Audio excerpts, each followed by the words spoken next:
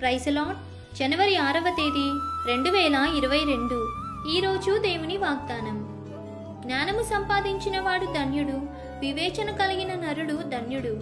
సామెతల గ్రంథం మూడవ అధ్యాయం పదమూడవ వచనం. జ్ఞానము గల కుమారుడు తన తండ్రిని సంతోషపెట్టును. బుద్ధిహీనుడు తన తల్లిని బాధపెట్టును. బుద్ధి లేని వానికి మూఢత సంతోషకరము. వివేకము గలవాడు చక్కగా ప్రవర్తించును. ఆలోచన చెప్పువారు లేని చోట ఉద్దేశములు వ్యర్థమగును.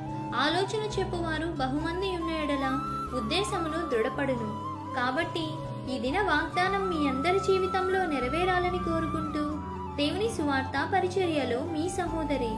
ఆమెన్. God bless you.